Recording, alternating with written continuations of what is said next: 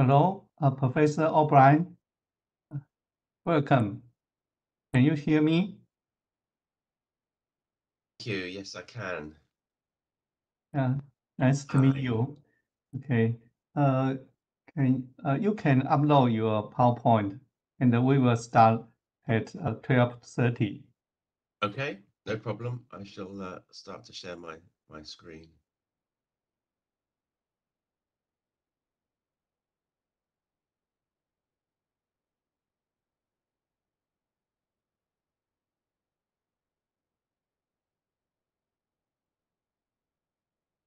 Yeah, it's great.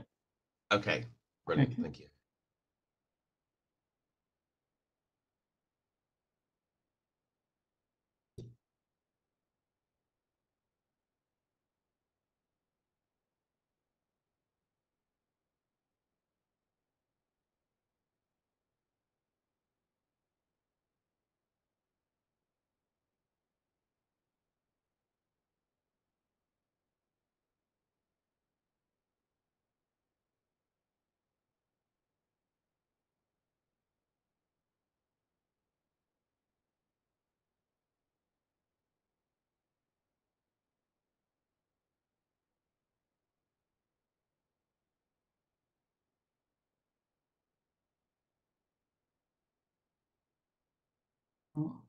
Good afternoon, uh, everyone. I'm Dr. Cao Ronghu, the Director of Dementia Center, Shuang Ho Hospital, Taipei Medical University. The Dementia Center commits to promote dementia care and to update dementia knowledge for physicians and uh, uh, dementia care team members. We have already uh, had uh, 17 uh, master contributing to this continuous education program, Frontier in Dementia Research Master Lectures since that year. In this year, we have a, a, great uh, sponsor from uh, Eisai company, and we'll continue to invite master to share their uh, experience with us. The master today, uh, the master today is Professor John O'Brien.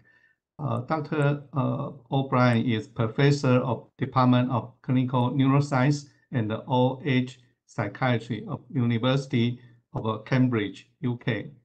His research focuses on biomarkers, especially neuroimaging, in the uh, differential and the early diagnosis of dementia.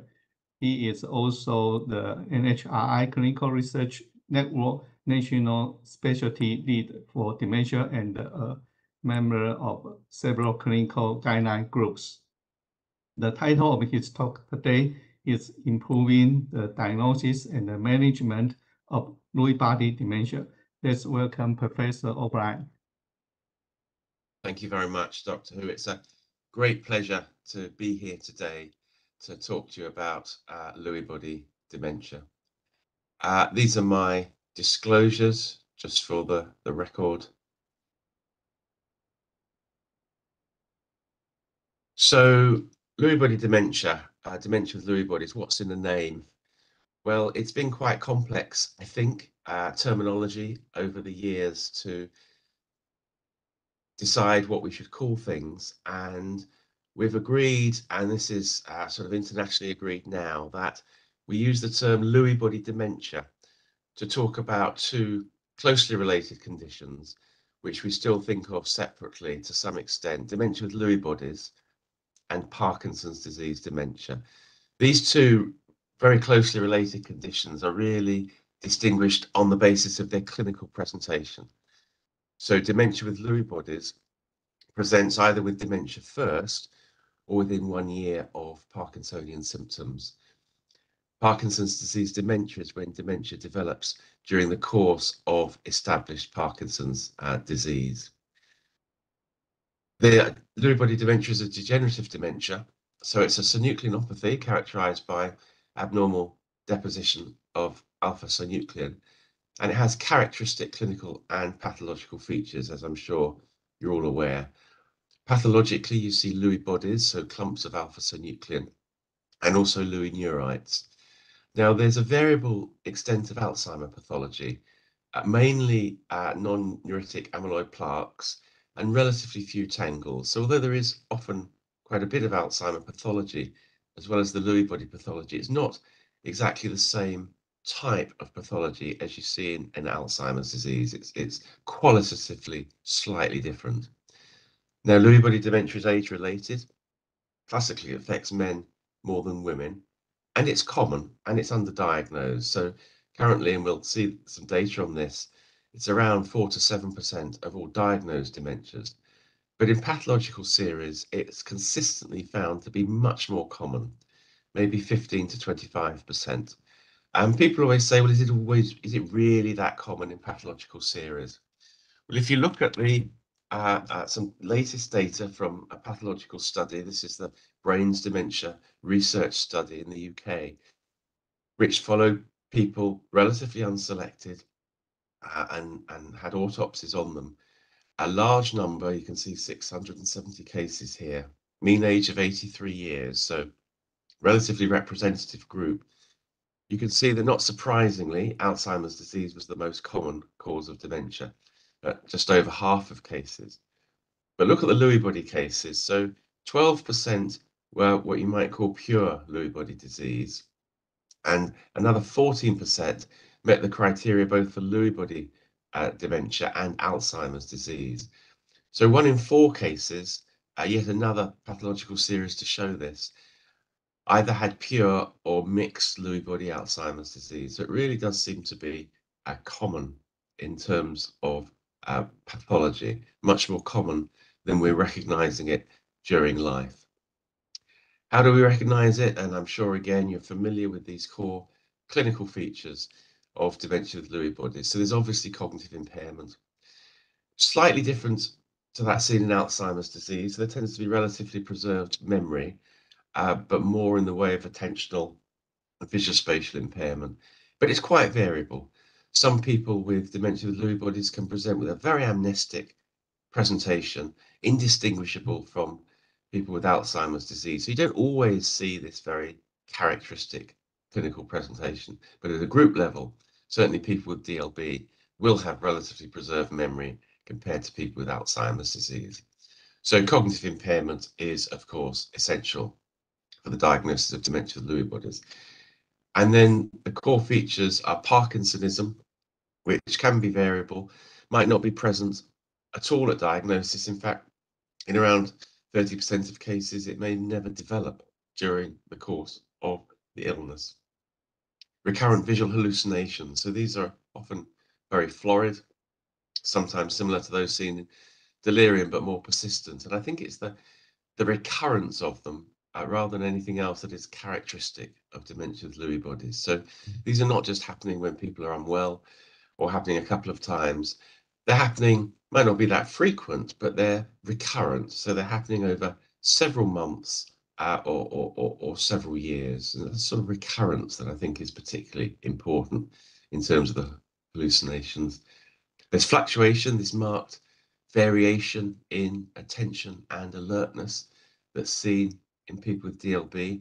And the time course of this can be different. It can be over minutes, over hours. You might observe it during a consultation, or it may be over days or weeks where people drift into a, sort of confused state that could be mistaken for delirium uh, and then sort of come out of it. So that fluctuation is very characteristic. And then REM sleep behavior disorders, sort of lack of the normal and paralysis during sleep when you, you, you don't act out your dreams. So people with RBD will act out their dreams, they'll thrash around at night time, they'll shout out, nighttime vocalizations, they might fall out of bed. The bed partner may have moved to a different room because of, of the disturbance during sleep. So Parkinsonism, recurrent visual hallucinations, fluctuation, and REM sleep behavior disorder are the core clinical features.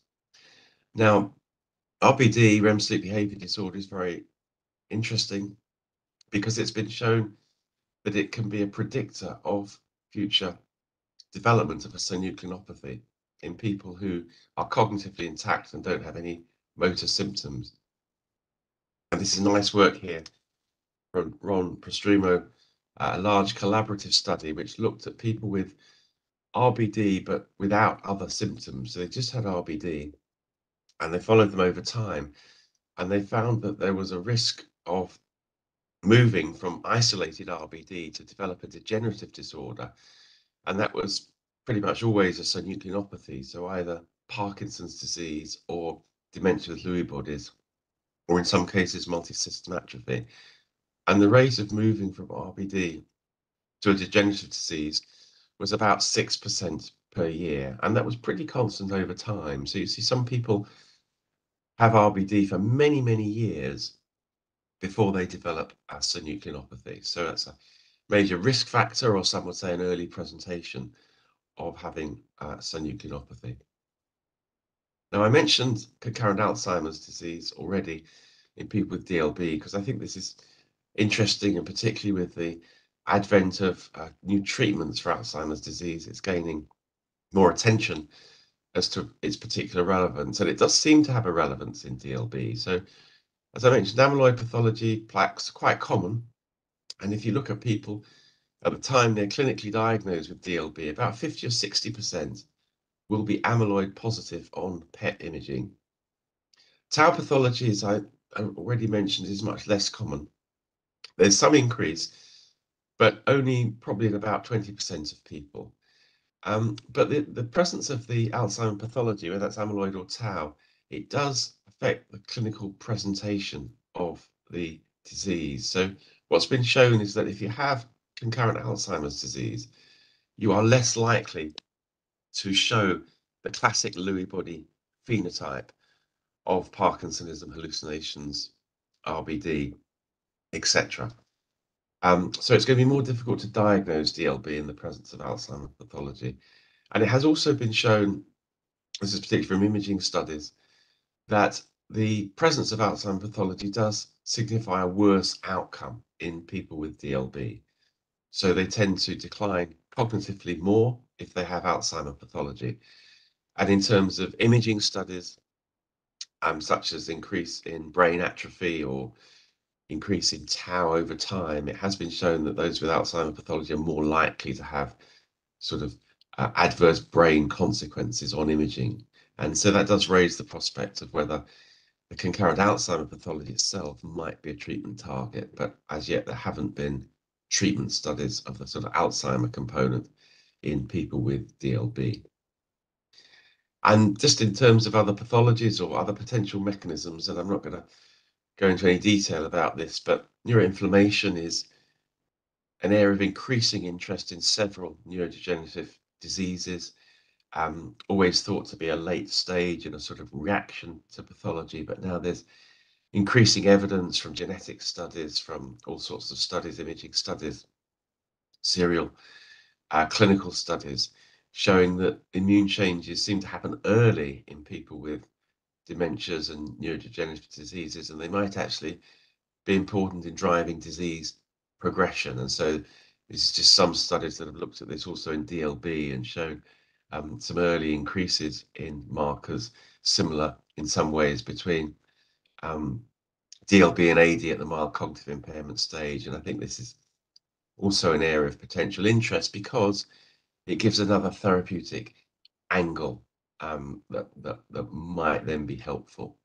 And this is a brain imaging study that we did. So it's PET imaging using a ligand PK11195. It's a PET ligand that binds to microglia, so immune cells in the brain, if you like.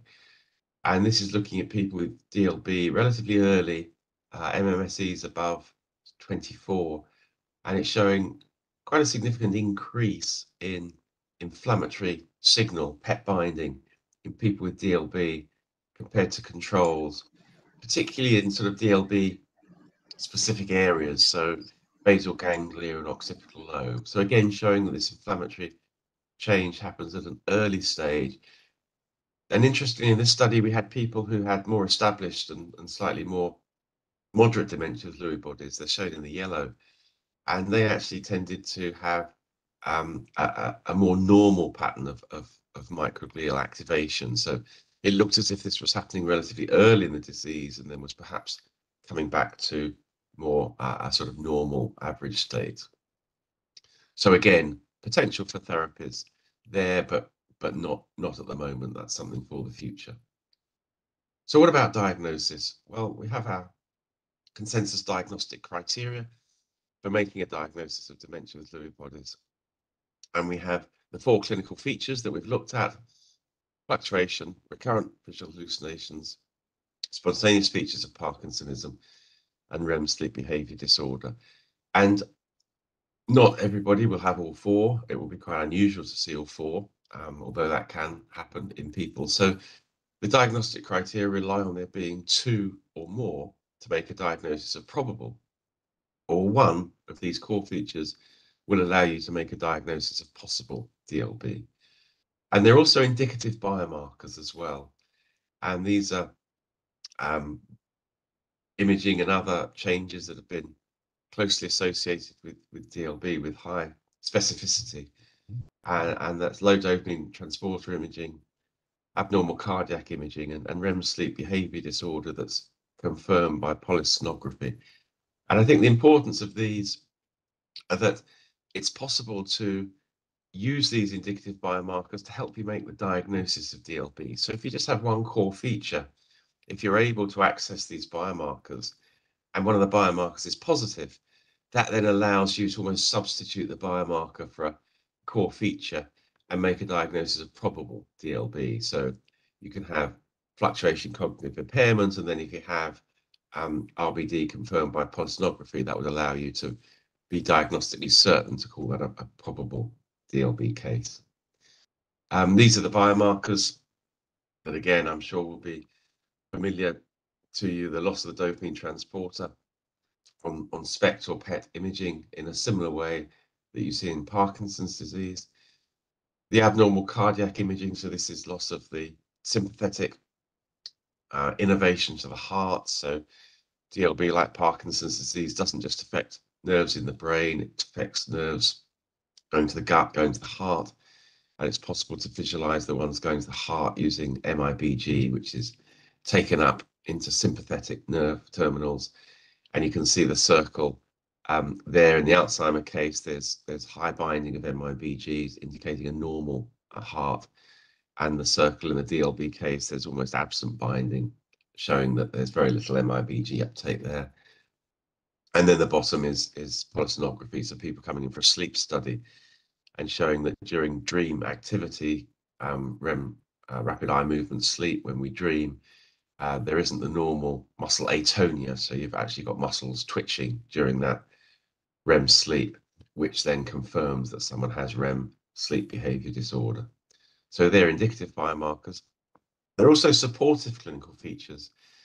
So these are features which are common in people with DLB. One isn't surprised to see them in people with DLB, but they don't carry the same sort of diagnostic weight as the core features simply because, and you'll see from looking at that list, because these are very common in other disorders. I mean, obviously, depression, apathy, falls, we see those in all sorts of disorders. They're not going to be diagnostically specific for people with DLB, but you won't be surprised to see them. And if you see them in, in someone who's got a diagnosis of Alzheimer's disease, it might just make you think, well, might this person have DLB and cause you to look for some of the core features or, or maybe look for some of the indicative biomarkers. And as well as supportive clinical features, there are supportive biomarkers. And again, these are the same in the sense that they are fairly commonly seen in people with DLB, um, but they're not specific for DLB, so you will see them in other disorders. So these supportive biomarkers, relative preservation of the medial temporal lobe on structural imaging compared to Alzheimer's disease, and about 40 to 50% of people with DLB will have relatively preserved hippocampus and medial temporal lobe. Abnormal perfusion is, is, is common, but particularly this preserved posterior cingulate, which is highlighted there with the arrow, from given the name of the cingulate island sign, where you see this preserved cingulate in the face of a sea of hypometabolism. And that's different from Alzheimer's disease, where the cingulate is affected uh, quite profoundly and quite early and general slowing on the EEG with fluctuations. It's also characteristic of, of DLB. So you won't be making the diagnosis on these features, but you are not surprised to see them. And uh, again, a bit like the supportive clinical features, it might well alert you to just question that diagnosis and, and look in more detail um, as if there if there are any other features there, if there are any core features there. Now DLB has finally made it to the big classification systems. So it entered DSM 5 some years ago, and it's now in ICD 11. And the criteria for ICD are not exactly the same as for the consensus criteria, but they're very similar. And clearly, one can see how they have moved from kind of research-based criteria to general clinical criteria. So you have need to have dementia, and you need to have two or more of the features. Um, fluctuation is called here episodic confusion, but it's it's it's the same thing. And I think that's been very important for DLB because it's now reached the stage where it's recognized internationally, where um, pharma companies, for example, uh, are interested in doing trials um, because it's a recognized condition and it's a common condition. Now, how common? Uh, we did a study in the UK called the Diamond Lewy study that stands for improving the diagnosis and management of Lewy body dementia. And we were interested in looking at current diagnostic practice and current management. And we looked at almost 10,000 referrals to representative memory and dementia services in the National Health Service in a couple of regions of the country. And we found that about 5%, just under 5% of people with dementia were given the diagnosis of dementia with Lewy bodies. Um, it was interesting that when we compared those people who were diagnosed with DLB with people who were diagnosed with other dementias, the diagnosis of DLB was longer and more complicated, more sort of difficult. Um, so almost half of people who were finally given a diagnosis of DLB had initially been given another dementia diagnosis, most usually Alzheimer's or, or mixed dementia. Um, we also found significant variation between services, and I think you can see that on the graph on the right, that, that some services have relatively high rates of diagnosis, um, up to the sort of 6%, and others have low rates, more than 3%. And these are not rates we would expect to be different. These are very similar services we would expect rates to be similar, and it, it looks like there's differences in in diagnostic practice.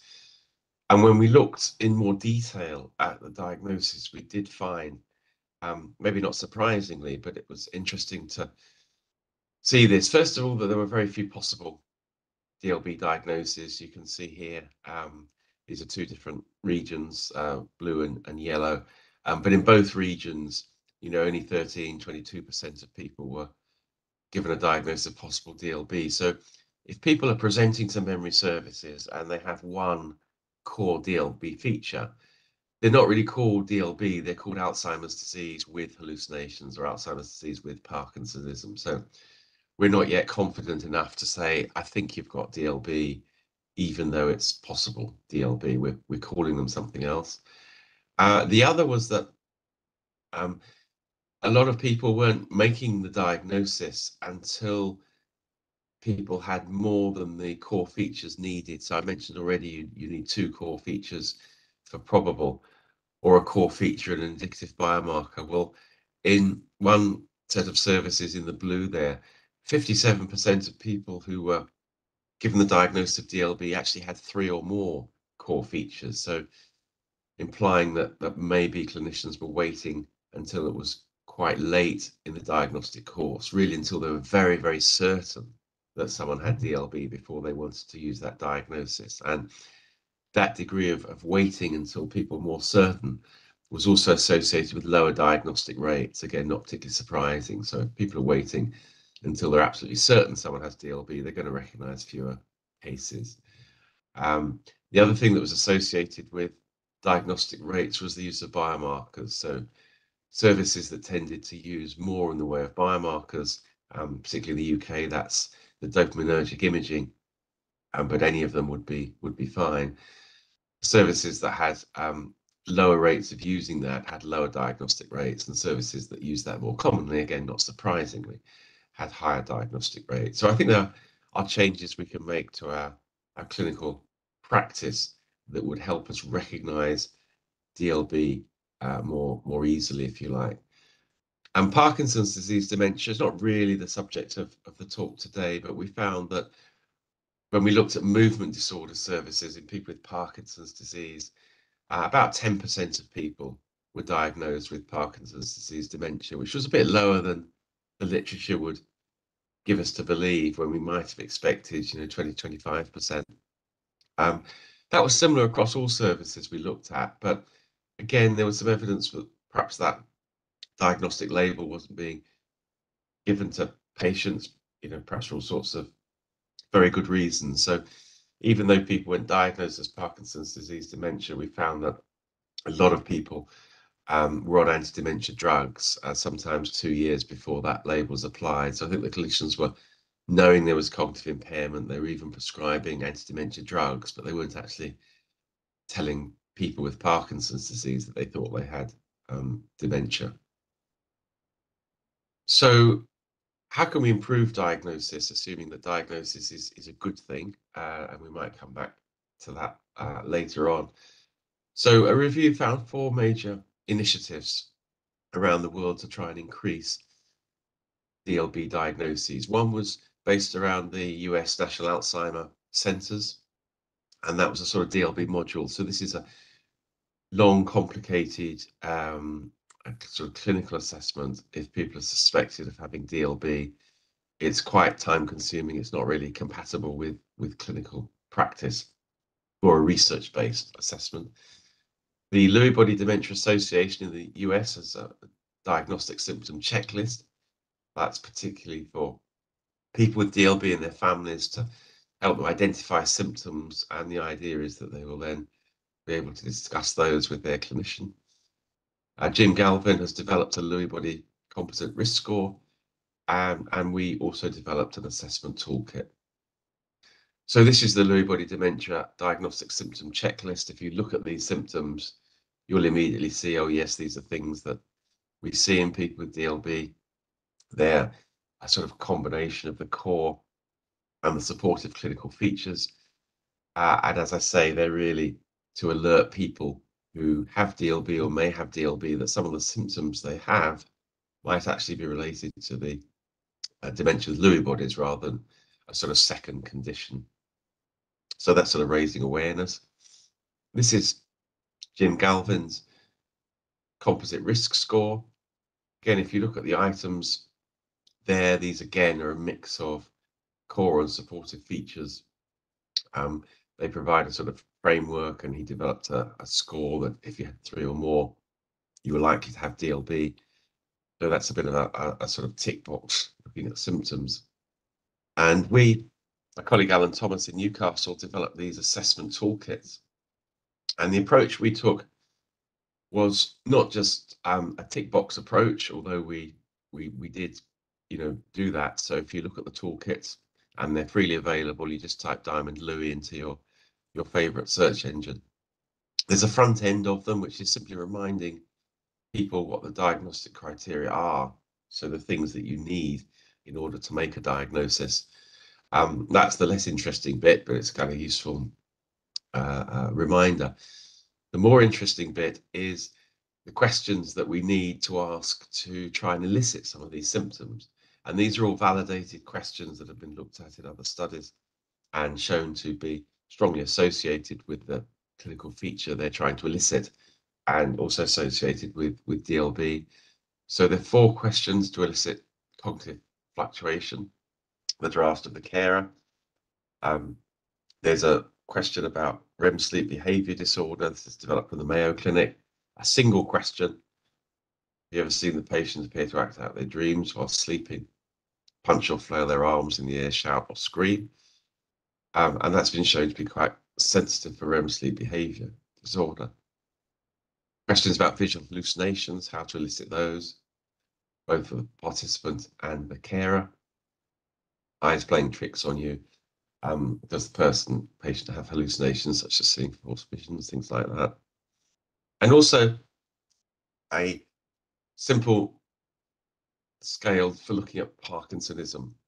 And so this was developed because it's been shown in previous studies to be independent of cognitive impairment in terms of uh, assessing Parkinsonism. You know, some of the tests and exam we use for Parkinsonism, it, it can actually be influenced by the degree of cognitive impairment people have. Uh, and this picks up the main features of Parkinsonism. It's very simple, looking at rest tremor, kinetic tremor, um, facial expression, uh, rigidity. So you're looking at rigidity, bradykinesia, and tremor, and a score of greater than seven was shown in previous studies to be suggestive of, of Parkinsonism. And there's a similar toolkit for dementia and Parkinson's disease because the, the diagnostic criteria are slightly different for dementia and Parkinson's disease, but broadly similar. So you have to have established Parkinson's disease and then have cognitive impairment sufficient to, to meet the criteria for dementia. So these uh, toolkits, as I mentioned, are freely available. There are also a couple of um, supporting videos to show how these toolkits can be used, how to assess these in clinical practice. And, and the whole aim of these toolkits was to have a series of literally five or six questions that would elicit hallucinations, fluctuation, um, and RBD, and then a very simple clinical exam that can be done in sort of 30 seconds also just to um, make us uh, think about Parkinsonism and, and, look at that. So to increase the awareness of those sort of symptoms. We did actually look at this in terms of the Diamond Lewy study. We um, looked at services at diagnostic rates beforehand, and I talked about that, the rate of just under 5% of DLB in terms of people with dementia who were diagnosed with DLB we introduced these toolkits and we went back and had another look at diagnostic practice and we found there was an increase in the number of DLB cases that were diagnosed and that went up from you know 4.6% to 6.2%. Relatively small increase, but it's actually another um, you know, it's actually a 35% increase. So for every three DLB cases that were being diagnosed before the toolkit was being used, a sort of extra case was being diagnosed. So there are ways, I think, with our current clinical assessment and practice, we can we can recognise DLB uh, more than we are. Um, other ways of recognising DLB, well, blood biomarkers are all over the place, really. Uh, I'm just back from the AAIC conference in, in Amsterdam last week, and this really is moving at a pace. We have um, phospho-tau in blood, different epitopes. Uh, we have the A beta ratio that doesn't seem to be terribly helpful. We have neurofilament light and glial fibrillary acidic protein. And these are all, you know, useful biomarkers. Um, this is a study that we did in Cambridge, though, and it's showing these different biomarkers in different diagnostic groups. And all these lines here are showing discrimination between different groups, um, diagnostic curves. And you'll see that the, um, it doesn't really matter the groups, but the sort of blue the green and, and, and the black lines are showing that all these markers have, have reasonable diagnostic accuracy in distinguishing Alzheimer's disease either from controls or from other dementias, frontotemporal dementia, or progressive supranuclear palsy and other degenerative condition. But you'll see the red lines there that don't do terribly well in, in diagnostic terms. And the red line is looking at these markers in distinguishing Alzheimer's disease from Lewy body dementia. And so the point I'm really making here is that I do think these blood biomarkers are incredibly, um, uh, well, I think they're going to be very, very important and there are lots of strides being made. But at the moment, we don't have biomarkers to distinguish DLB from Alzheimer's disease. Uh, they may well come, but we don't actually have them at the moment. What we do have, though, uh, is is an assay from CSF. So um, this is this this one seed, so-called seeding assay, and this is a method where you're able to detect abnormal synuclein. And the idea is you you put the abnormal synuclein in with normal synuclein, you kind of shake it up, um, or, or there are other methods of doing this, and then abnormal synuclein turns the normal synuclein abnormal, if you like, uh, and then you're able to detect that. So you can start off with a very small quantity of this abnormal synuclein and it will actually give you a readout showing that pathological protein is present. And this has been shown, the CSF test, to be very, very highly accurate, both in Parkinson's disease and dementia with Lewy bodies. So figures of 90% sensitivity and specificity are being reported. It's still relatively early days. Um, you know, not every centre can do this assay. There's still some issues about reliability and, and setting it up. But I think when you see diagnostic figures like this, it really gives you hope that this might be the next generation of, of markers that might help us diagnose DLB and Parkinson's disease. But of course, the, the only reason for diagnosing something is if you can do something about it. Um, are there different things that we do with DLB? Well, outcome in DLB is different. Unfortunately, outcome in DLB is not good, even compared to Alzheimer's disease. So a number of studies have shown that outcome is worse in DLB than Alzheimer's disease. People have lower quality of life rated by themselves and their carers, greater degree of hospitalization and higher mortality. So these are two graphs here from large hospital series e-record data. So relatively unselected people presenting to secondary care. Um, you can see on the left here that hospitalization after diagnosis is much, much higher in DLB than Alzheimer's disease. This is acute hospitalization. And on the right, you'll see mortality. And again, you'll see that the uh, mortality after diagnosis in DLB is strikingly high compared even to Alzheimer's disease. So the mean survival in DLB is only around half that. And you'll see that males are living only about three years, females four years after diagnosis in DLB. So a significantly poor outcome in, in DLB. Um, what can we do about it? Well, my colleague John Paul Taylor uh, undertook a series of systematic reviews looking at the sort of best management in DLB and indeed Parkinson's disease dementia. So these are management toolkits for Lewy body dementia across the board. Um, there's quite a bit of evidence out there. There's quite a few evidence gaps, and the way evidence gaps were dealt with was by putting together an expert Delphi panel, an expert clinical panel, who then said, well, there isn't any evidence on this, but we think this is the way one should treat these symptoms. So, you know, RBD is probably a classic. There aren't particularly good randomized controlled trials of RBD in, in people with Lewy body dementia. But there's a lot of literature and a lot of trials on how to manage RBD outside of dementia. And the feeling was that that evidence could be transposed to DLB management. So I can't summarize the, the whole toolkits in, in one slide, but this is just to give you a feel both of how they were structured. So the idea was to look at the main symptom domains that are affected in DLB, cognitive, neuropsychiatric, sleep, autonomic and motor symptoms, and then to look at some of the main evidence-based uh, treatment. So obviously for cognitive impairment, cholinesterase inhibitors, question mark over memantine. There's actually a study going on at the moment, the COBALT study, looking at randomizing people to either take memantine or placebo um, for one year to see if that helps people with DLB. Um, treatments for Parkinsonism, RBD, etc. Um, so these toolkits, I hope, are useful for clinicians. Again, they're under the search term Diamond Lewy. You'll see the toolkits, and there's also sort of video support for how they might be administered. Um, we did a study looking at long-term use of cholinesterase inhibitors, and this is a naturalistic study, so it's not a randomized trial. Obviously, there various selected factors that might come into play. But it's quite a large study. It's almost 600 people treated with cholinesterase inhibitors, plus or minus memantine. We tried as best we could to control for socioeconomic status and, and physical comorbidities.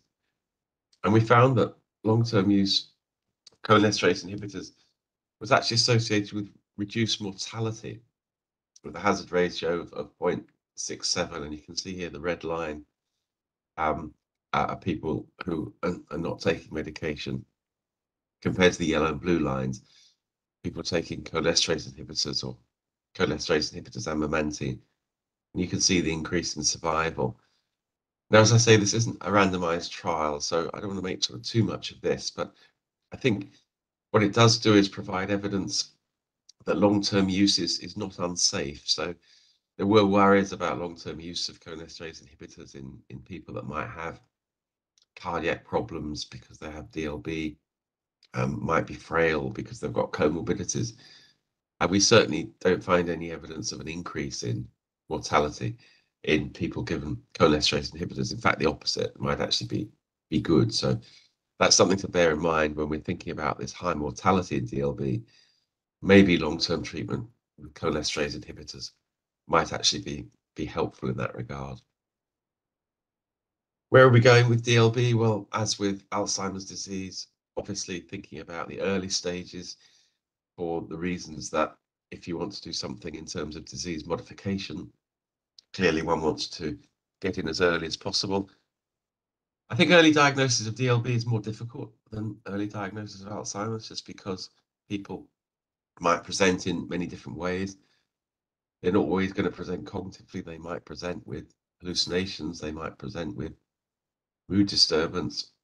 We talked already about REM sleep behavior disorder as a presentation. And they might present with one of the supportive clinical features like falls. So it's going to be more varied.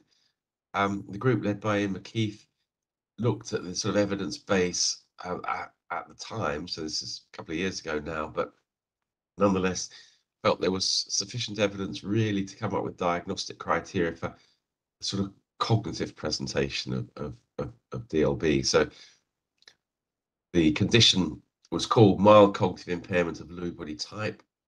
And you can see from the criteria here, they're very similar to the mild cognitive impairment criteria for Alzheimer's disease.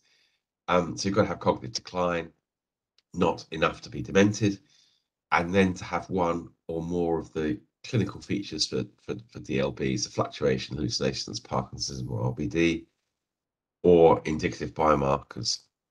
And unlike the criteria for mild cognitive impairment due to Alzheimer's, these were divided into sort of probable or possible um, type. Now, there have actually been quite a few um, studies already on mild cognitive impairment of body type, and perhaps not surprisingly, if people with MCI Lewy body are compared with MCI Alzheimer's disease, Lewy body features are more common, but that's just circular because that's what you use to make the diagnosis. Interestingly, supportive features are also more common. Now, these weren't actually used to make the diagnosis, but again, it's not surprising. If you have a group with early um, Lewy body dementia, you know, prodromal dementia, you're going to see these features. Um, the indicative biomarkers were helpful to some extent. So they were abnormal, maybe in 60, 65% of cases, um, rather than sort of 80% in established DLB.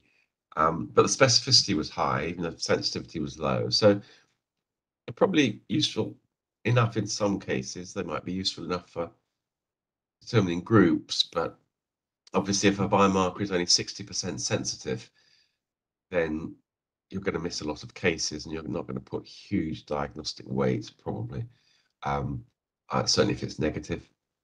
Um, and then other DLB features in a, a record study, you know, full psychiatric autonomic features.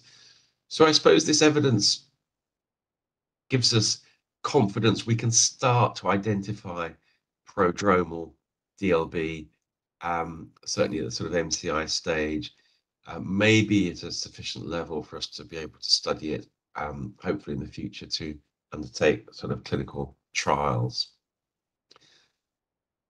What about clinical trials? Well, there is now increasing interest in DLB again, having been, you know, decades, I think, without a lot of interest after the cholinesterase studies. And so now there are studies being done looking at potential disease modification, whether that's around alpha-synuclein neuronal function, or whether that's, as I mentioned earlier, around the kind of concurrent Alzheimer type pathology.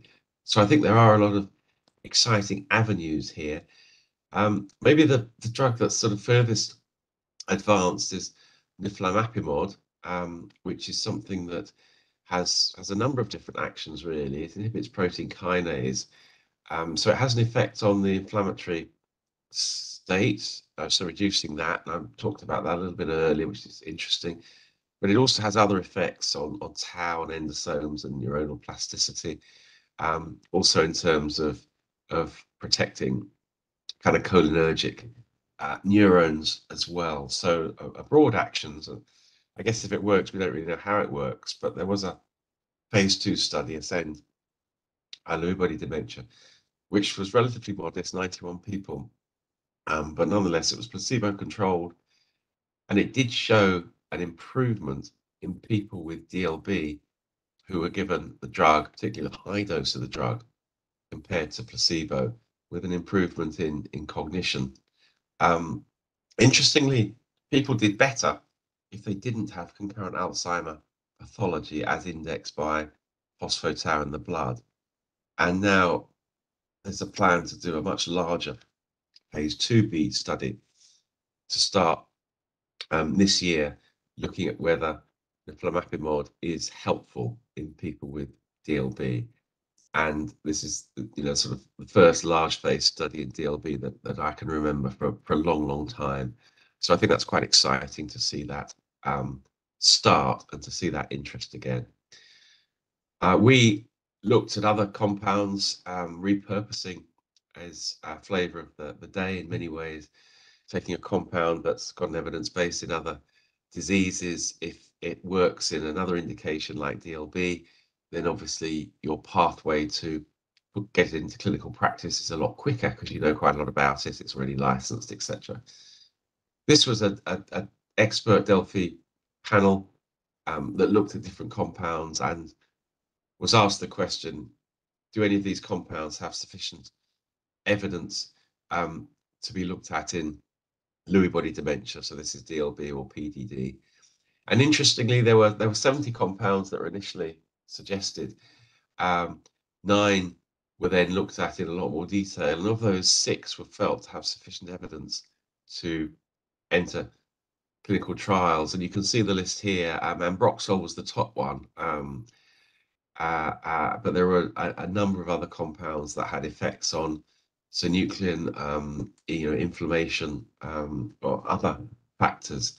And some of these are now entering uh, clinical trials, which I think is also uh, interesting. So there's sort of novel compounds and maybe some established ones that might be helpful for DLB. Certainly, clinical trials that, that can be done to, to answer that question. So just to wrap up, I've tried to make the case that, that Lewy body dementia, particularly DLB, in terms of the talk today, is important to diagnose. The management is different, it takes you down a different path, um, has different outcome. I think it leads to different conversations with the patient and the family, which is why it's important.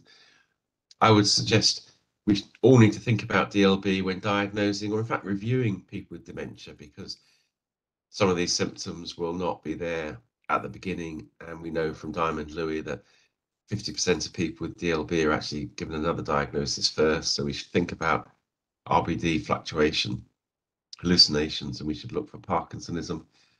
If we have access to biomarkers, we can use them. Um, in terms of the management, think holistically, think of all the domains, not just cognition. Think about sleep, think about motor symptoms, can they be helped? I think cholinesterase inhibitors should be the core of management for people with DLB, assuming, of course, they can be tolerated, but other symptoms are important. Um, some promising signs for future therapeutics, but it is very, very early days. We've come a, short way and we have a, long way still to go.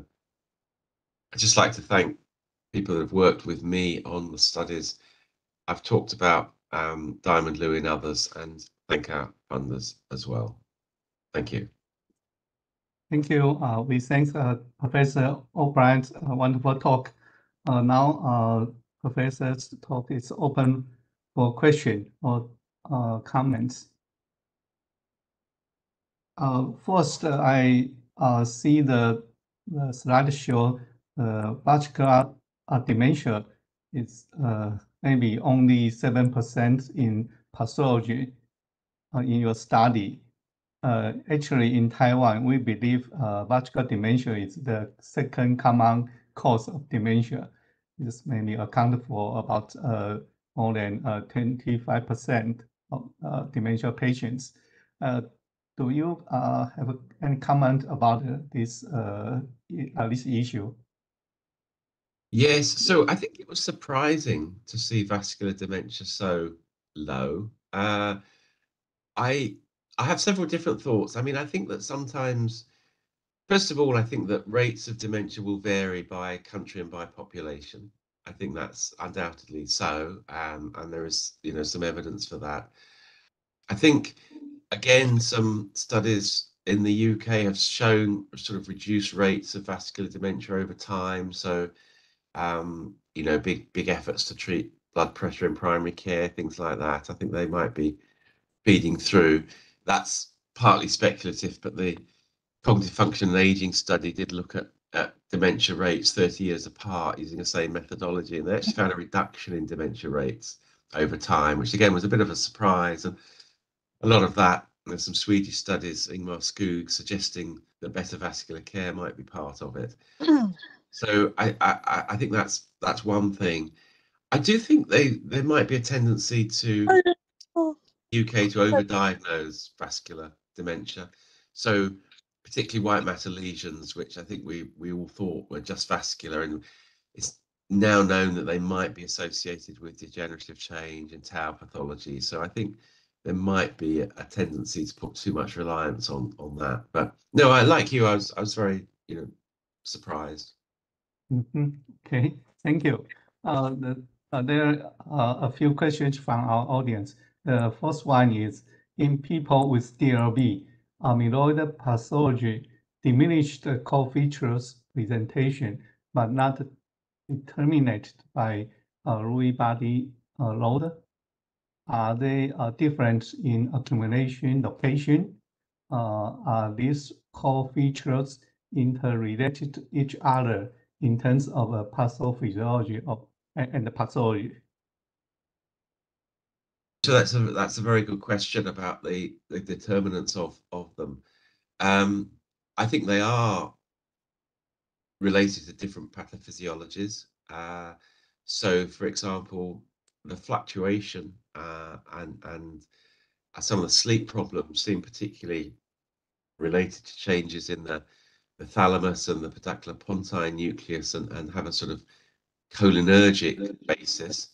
Whereas the motor symptoms, you know, perhaps obviously would have more basis in in dopaminergic change and in in kind of striatum and substantia nigra.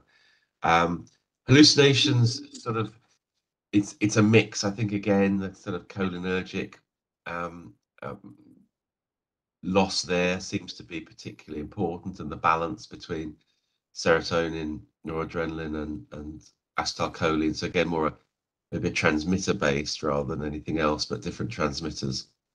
Um, so I think, I think yes, I think there are, you know, differences, and I think that's why we see different core features in different people, because they they have different different pathologies, different sort of areas. It's not always spreading. It's been shown, you know, in Parkinson's disease, is a relatively um, consistent way that pathology spreads. Um, But in dementia with Lewy bodies, it can be much more variable. So sort of brainstem first, or cortex first, or limbic first, and that will dictate the kind of symptoms that people present with. Yes, thank you. The second one uh, is: uh, Thanks for your informative talk. I saw a patient with cognitive decline, marked Parkinsonism, uh, including bradykinesia, rigidity, and anticholis, visual hallucination, and delusion. Meanwhile, uh, he had marked hippocampal atrophy evidence on brain CT. Given a hospital uh, setting without uh, nuclear medicine department, nor a PSG facility, can I confident of giving diagnosis of a DLB? Well, um, you know, I would say I would say yes. I mean, I think I think we we should we should go with the criteria. And uh, mm-hmm. uh, certainly from from what you're saying there, there are plenty of core criteria to make a diagnosis of probable DLB. the hippocampal atrophy, I mean, it's it's only in about 40, you know, 40 to 50% of people you see this preservation. So there are a lot of people with DLB that have quite a marked hippocampal atrophy.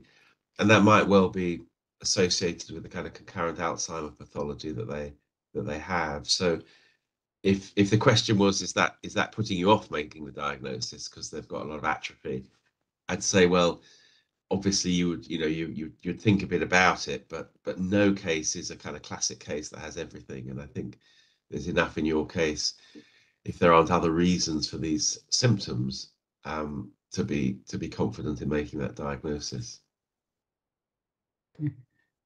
uh, create a mixed type like AD plus DLB uh, for this case. Um, so I I don't I don't know the benefit of of making that diagnosis to to be honest. And I think that when if we're trying to guess the amount of Alzheimer's pathology, we're we're probably, you know, not going to be right a lot of the time. So I think I think yes, I mean I don't think there's anything wrong but with that, but I it, I don't think it's as simple as saying if there's hippocampal atrophy, there's Alzheimer's pathology. I think we still need to understand a bit more about the sort of reasons people have different patterns of atrophy. If if it's a helpful label for the for the patient or for management, um, you know, I, am not sure what it's like in Taiwan, but I know for time in the UK, and unless we said that someone had Alzheimer's disease, we couldn't prescribe cholinesterase inhibitors. Mm-hmm. So there might be other reasons for using that diagnosis. So I don't think it's wrong, um, but I'm apart from that, I'm not really sure what it what it adds. Okay, thank you. Um, another question is, uh, people with DLB have a shorter expected survival than AD.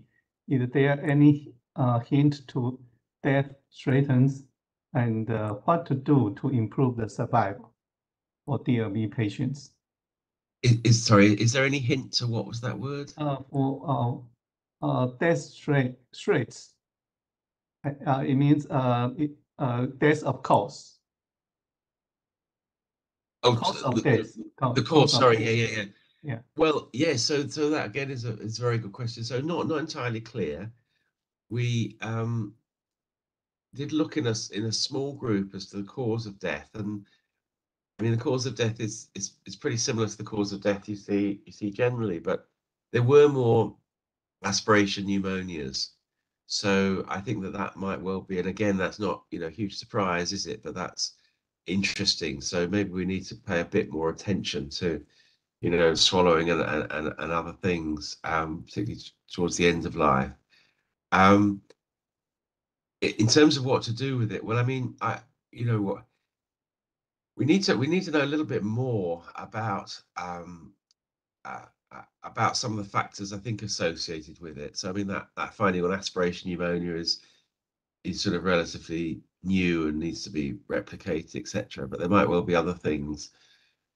Um, what I would hope, and that's a hope rather than anything evidence based, is that if you sort of optimize all aspects of management, you you are you are likely to be you know helping people generally. Um, doesn't surprise me, and I'm sure it doesn't surprise any of you that people with DLB have a poor outcome. They have motor symptoms, they have cognitive symptoms, you know, neuropsychiatric symptoms, sleep symptoms, cardiac issues, you know, all sorts of things that are kind of not good to have.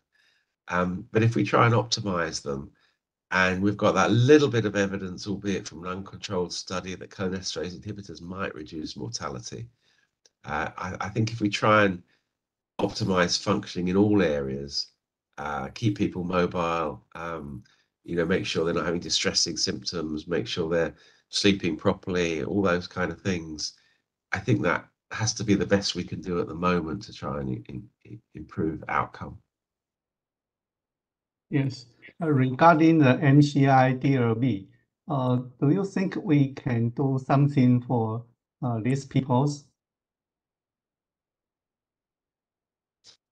Regarding uh, yeah it's my my question uh not showing in the screen. I i my question is uh, about the uh mci dlb I, I mean, uh, do you think we should do uh, anything for these uh, patients? Well, that's a very good question. I mean, you know, it's it's hard, isn't it? Because it's tempting to prescribe cholinesterase inhibitors, but we we don't actually have the evidence for that. I think what would be good is to do some clinical trials on that population because we know from the trials in Alzheimer's that you can't just assume that someone with MCI is going to benefit.